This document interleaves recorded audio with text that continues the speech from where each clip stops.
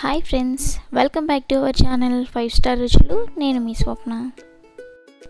Friends ఇవాళ మన రెసిపీలో అందరూ ఇష్టపడే చికెన్ బిర్యానీ రెసిపీని చేసి చూపించబోతున్నాను. ఈ బిర్యానీ రెసిపీని కొత్త వాళ్ళైనా సరే ఎవరైనా చూడగానే చాలా ఈజీగా పర్ఫెక్ట్గా ఎలా చేయాలో ఈ వీడియోలో చూడొచ్చు. చాలా టేస్టీగా ఉంటుంది. వీడియోని స్కిప్ చేయకుండా ఎండ్ వరకు చూడండి. చికెన్ బిర్యానీ కోసం ముందుగా చికెన్ని మ్యారినేట్ చేసుకోవాలి. దానికోసం నేను సిక్స్ హండ్రెడ్ గ్రామ్స్ చికెన్ని తీసుకున్నాను. బిర్యానీలోకి చికెన్ని మరీ పెద్ద పెద్ద ముక్కలుగా కాకుండా చిన్న ముక్కలుగా కాకుండా ఇలా మీడియం సైజ్ ముక్కలుగా కట్ చేపించుకోవాలి. ముందుగా నేను దీన్ని ఫ్రెష్గా కడిగేసి పక్కన పెట్టుకున్నాను. ఇప్పుడు ఇందులోకి ఒక టీ స్పూన్ వరకు సాల్ట్ని అలాగే ఒక టేబుల్ స్పూన్ కారాన్ని వేసుకుంటున్నాను. ఒక టేబుల్ స్పూన్ కారం అంటే టీ స్పూన్లతో రెండు టీ స్పూన్లు అవుతుంది. అలాగే ఒక టీ స్పూను అల్లం వెల్లుల్లి పేస్ట్ని వేసుకుంటున్నాను. ఇప్పుడు మనం వేసిన అల్లం వెల్లుల్లి పేస్టు కారం అలాగే ఉప్పు చికెన్ ముక్కలకి బాగా పట్టేలాగా కలుపుకోవాలి. ఇలా చికెన్ని బాగా కలుపుకున్నాక ఇందులోకి ఇప్పుడు ఒక మూడు పచ్చిమిర్చీలని ఇలా చీలికలుగా కట్ చేసుకొని వేసుకుంటున్నాను. అలాగే కొంచెం పుదీనాని కొంచెం కొత్తిమీరని కూడా ఇలా సన్నగా కట్ చేసుకొని వేసుకుంటున్నాను.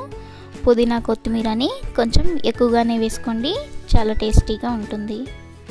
వీటితో పాటు ఇందులోకి ఒక టీ స్పూను బిర్యానీ మసాలా లేదంటే ఓల్ గరం మసాలా అయినా వేసుకోండి. ఇంకొక టీ స్పూను ధనియాల పౌడర్ ఇంకొక టీ స్పూను జీలకర్ర పౌడర్ని కూడా వేసుకోండి. ఈ మసాలాలన్నీ చికెన్కి పట్టేలాగా మళ్ళీ ఒకసారి అంతా బాగా కలుపుకోండి.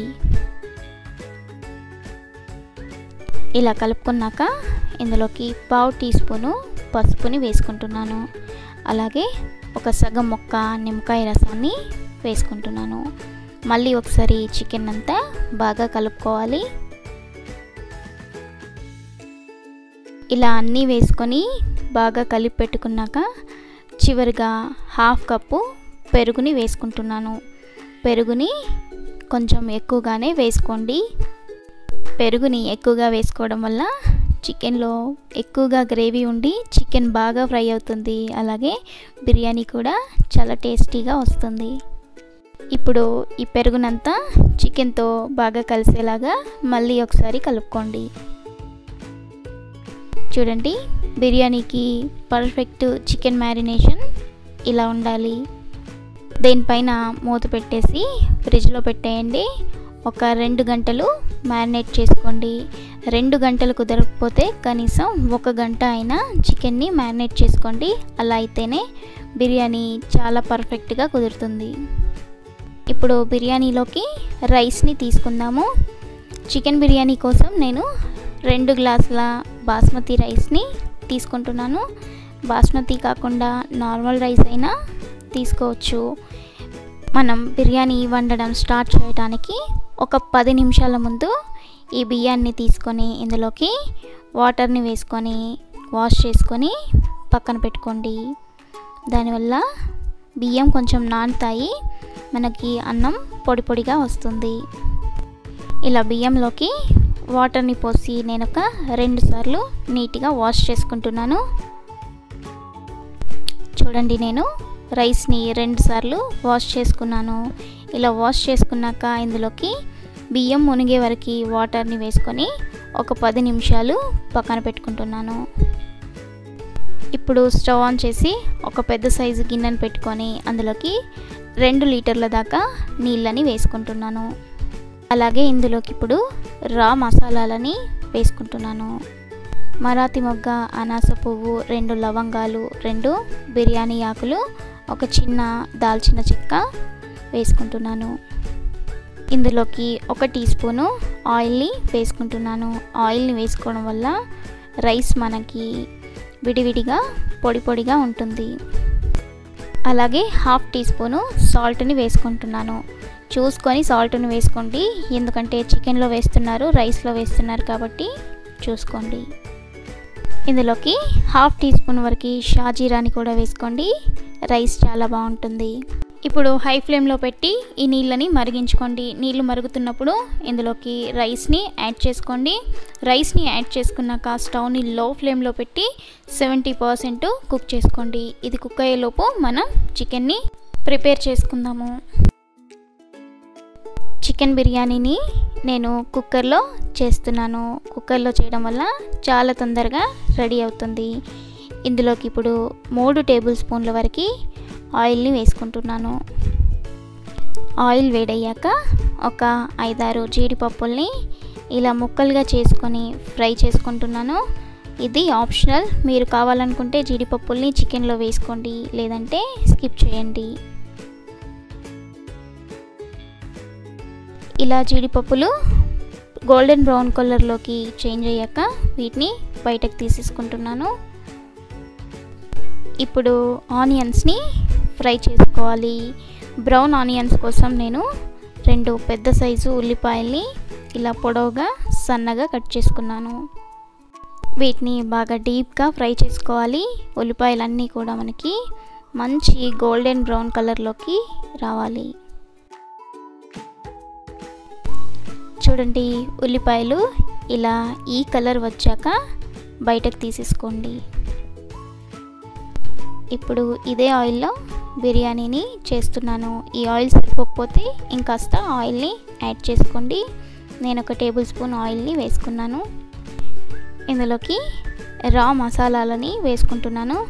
ఒక చిన్న సైజు దాల్చిన చెక్క అనాస పువ్వు రెండు యాలకులు రెండు లవంగాలు ఒక బిర్యానీ ఆకు అలాగే హాఫ్ టీ స్పూను షాజీరాని వేసుకొని ఫ్రై చేసుకుంటున్నాను. స్టవ్ని మీడియం ఫ్లేమ్లో పెట్టి ఫ్రై చేసుకోండి. ఈ మసాలాలు ఫ్రై అయ్యాక బ్రౌన్ ఆనియన్స్కి కట్ చేసిన ఉల్లిపాయల్లో కొన్ని పక్కన పెట్టుకున్నాను. ఆ ఉల్లిపాయల్ని ఇందులోకి వేసుకుంటున్నాను. అలాగే రెండు చీలికలుగా కట్ చేసుకున్న పచ్చిమిర్చి ముక్కల్ని వేసుకొని ఫ్రై చేసుకుంటున్నాను. ఇవన్నీ దోరగా ఫ్రై అయ్యాక ఇందులోకి ముందుగా మ్యారినేట్ చేసుకున్న చికెన్ని వేసుకుంటున్నాను. ఇలా చికెన్ అంతా వేసుకొని ఒకసారి బాగా కలుపుకోవాలి. ఇలా కలుపుకున్నాక కుక్కర్ పైన మూత పెట్టేయండి. దీన్ని ఒక రెండు విజిల్స్ వచ్చే వరకు ఉడికించుకోండి. రెండే విజిల్లు పెట్టుకోండి. అంతకన్నా ఎక్కువగా అస్సలు పెట్టుకోవద్దు. రెండు విజిల్స్ వచ్చాక స్టవ్ ఆఫ్ చేసి వెంటనే కుక్కర్లోని గాలినంతా తీసేయండి.